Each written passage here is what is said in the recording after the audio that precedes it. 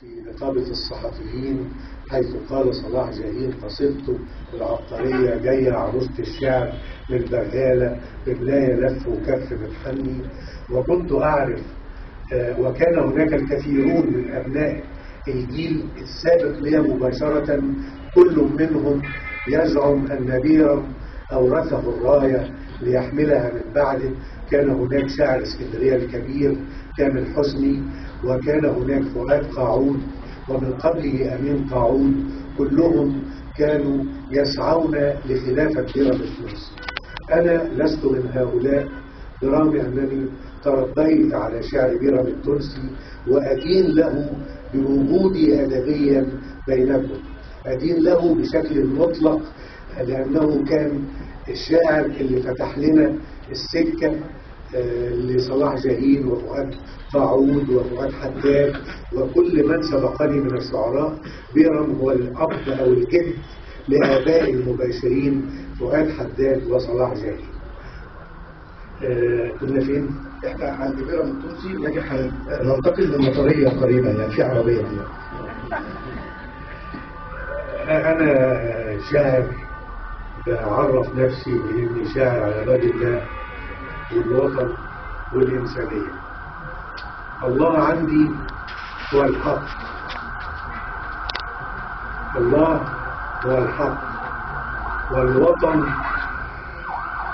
هو الخير العام الذي ينبغي أن نتقاسمه بعدالة وحرية.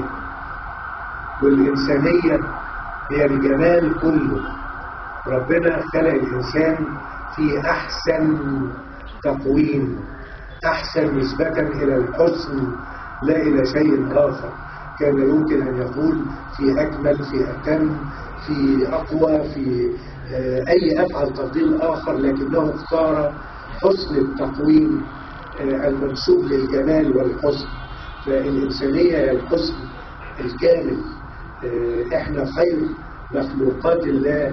اللي استخلفنا على هذه الأرض كي نزيدها عمرانا وكي نتبوأ فيها من الجنة حيث نشاء. الحمد لله الذي أورثنا هذه الأرض الذي أورثنا الأرض نتبوأ فيها من الجنة حيث نشاء. ربنا استخلفنا على هذا الكون لنزيده عمرانا وخيرا ورخاء وجمالا. أظن إن هذا هو جوهر الرسالة الإنسانية وهذا هو أيضا جوهر الرسالة بتاع الفنانين والمبدعين والحكماء اللي كانوا بيستهدفوا دايما الحق والخير والجمال.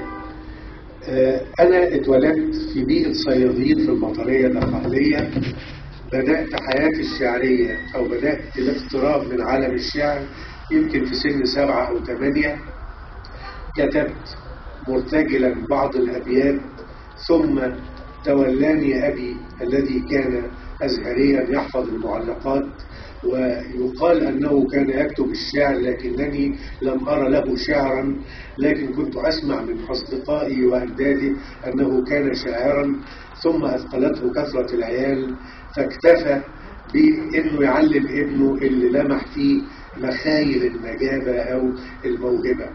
آه، لما أبويا عرف إن أنا بكتب شعر آه، قال لي وريني فوريته بعض الكراريس اللي أنا كنت مسودها أياميها.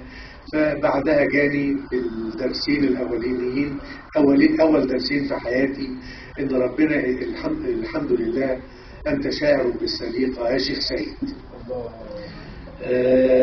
لكن عليك أن تفهم شيء إن ربنا منحك هذه السليقة الشعرية كي تحمده عليها كي تشكره عليها.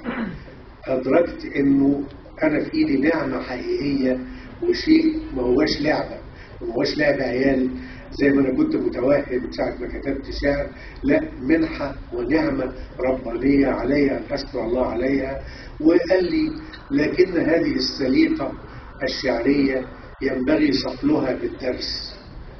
آه، يعني ينبغي صقل هذه الموهبة بالتعلم وبالدراسة. وبدأت يدرس لي بين سن 11 وسن 14 العروض الشعري على طريقة الأزهريين القدامى.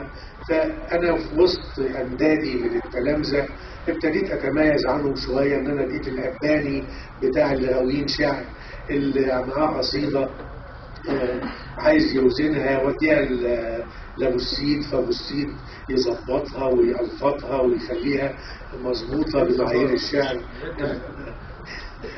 بال- بالمعايير بتاعت زمان. وابتدت الحكاية تكبر معايا. يمكن وأنا في إعدادي وثانوي كان بعض أساتذتي بيلجأوا لي إن أنا أكتب قصايد باسمهم. عشان يلقوها في الاحتفالات. المولد النبوي الأستاذ فلان الفلاني هياخد الدرجة السادسة فعايزين نعمل له حفلة فاكتب لنا قصيده في الموضوع ده. فكنت بكتب قصايد لأساتذتي وهم يطلعوا يلقوها باسمهم الشخصي في المدرسة. ومشيت الحكاية وابتديت أكتب. وفي الوقت ده كنت بكتب بالفصحى لأن طبعا في بيوتنا وفي ثقافتنا بيعلمونا إن إحنا نبص من فوق بألاطة واستعلاء كده للكلام المكتوب بالعامية على أساس إن كلام العامية ده كلام السوقة والدهماء مش زي الشعر اللي مكتوب في لغة القرآن المقدسة يعني. آه، آه، مع وأنا في ثانوي قابلت أستاذ هو اللي وجهني الحقيقة بتوجيه الأصح والأدق في حياتي لما شاف شعري وقال لي آه، أنا عجبني اللي أنا قريته آه، ووديته للأستاذ عبد الكافي لأن أنا ما بفهمش في الشعر فأكد لي إنه آه، موزون ومقفى إلى آخره يعني. آه، لكن أنا عايز أقول لك إن أنت بتكتب آه، مشاعرك. فطبعا رديت عليه ال- ال- الفزلكة بتاع العيال الصغيرين. طبعا يا أستاذ هو الشعر من المشاعر والكلام ال- الكنافة ده فقال لي هتكتبه مرة هيبقى حلو. هتكتبه مرة ثانية هيبقى أحلى. هتكتبه مرة ثالثه هتبقى صنايعي ف طب والحل إيه يا أستاذ؟ عشان ما ابقاش صنايعي وأبقى فنان وشاعر يعني. قال لي حواليك في البلد 30000 صياد. في قلب كل صياد منهم 10 قصايد مش لاقيين اللي يكتبها فطبعا الواحد حسبها برضه بحسبة ليالي 30000 في 10 300000 حظك ضرب يا آسف يعني آه، اتفتح كنوز علي بابا اتفتحت لك الشعرية. فابتديت العيلة فيها الميسور والمتعطر والمستور. إحنا من المساتير وفوقينا الم- المياسير وتحتينا اللي ضاربهم السلك والمتعطرين اللي هم من الصيادين اللي في العيلة. فأنا ابتديت أخش بيوت قرايب الصيادين وأسرح معاهم البحيرة. بحاول أدور على العشر قصايد التايهين اللي مش لاقيين اللي يكتبهم بقدر ما استطعت في الوقت ده يعني فابتديت أكتب القصايد يبقى السرد فيها بالفصحى والحوار بالعامية ثم استقلت العامية بقصائد كاملة والفصحى فضلت للمسائل الأكثر ذاتية والأكثر ارتباطا بذاتي كمثقف آه، صاعد أياميها ففضلت أكتب شعر بالفصحى وبالعامية. أنا فاكر أول قصيدة كتبتها بالعامية آه، كانت بتبتدي كده.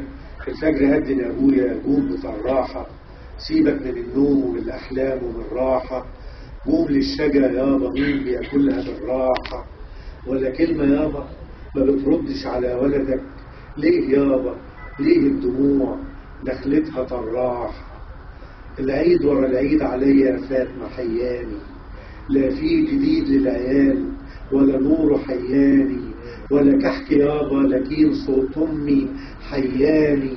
ورا كل ميت تصوت والدموع تجري كأنها دمك انت يابا آه يعني إلى آخر قصيدة اليوم بتتكلم عن طفل يتيم من ابناء الصيادين. وفي نفس الوقت كتبت نفس القصيدة دي بالطريقة اللي كانت مستحدثة آنذاك اللي هو شعر التفعيلة كانت قصيدة بتبتدي شهور يما وأنا عايش ماليش أمة في دنيا